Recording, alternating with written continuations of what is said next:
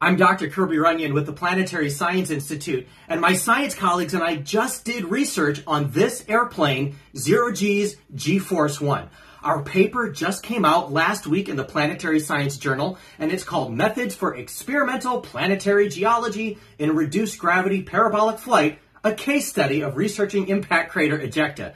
That's a mouthful, but what we're studying is how a reduction in gravity, like on Mars or the moon and maybe even weightlessness, like is close to the situation for asteroids, how those low gravity fields affect the emplacement of stuff that gets dug out of impact craters. When a meteoroid hits the moon or Mars, it digs a big hole in the ground. And all of that rocky and dirty debris gets thrown out. It's called ejecta. And then it lands on the planetary landscape and it slides along and it erodes and it scours that surface. And we were curious, well, what happens if you turn down gravity? Normally in the laboratory, we can't do that. But on G-Force One, we can. See, this airplane flies a series of curves or arcs in the sky called parabolas.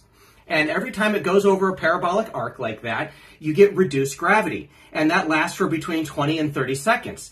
For Mars gravity, 38% the gravity of Earth, that's a very broad parabola, a very broad curve.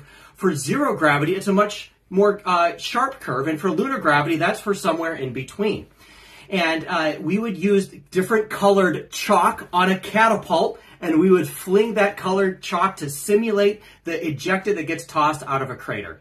And when we go through and we analyze the data from all of our GoPro cameras that we had set up around the airplane, watching it and, and, everything, we are able to simulate what we think happens on other planetary surfaces. So you can go read our paper for free in the Planetary Science Journal. And of course, a huge shout out to my friends at Zero G for making this kind of research possible. Thanks.